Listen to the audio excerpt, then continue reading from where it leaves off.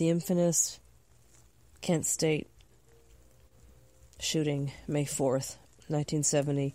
It's now May 4th, 2024. Jerry Casale says this They did it without an act of Congress, without passing any new law, or having any meetings. It was completely unconstitutional, so we're out there at noon. About 3,500 students at Kent State were out there. The governor, who certainly was a pro war kind of guy, Governor Rhodes, he had placed the National Guard inside the heating plant of the school the night before anticipating what would happen when the students found out about Cambodia.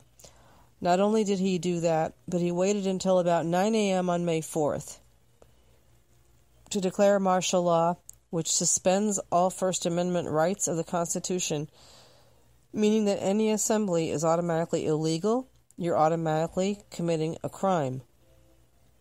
Oh my God. These National Guardsmen poured out of the heating plant, surrounded the protesters, and with a bullhorn announced that martial law had been declared and that we were all going to jail. Everybody starts chanting and screaming, and they start shooting tear gas. They start shooting tear gas, the, guardsmen. Some of the more ballsy protesters, while they're coughing and choking and puking, are trying to throw it back. Mercy on us.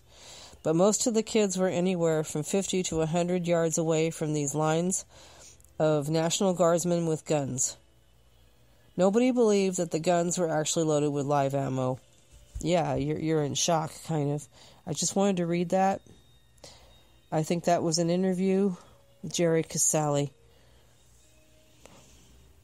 Peace.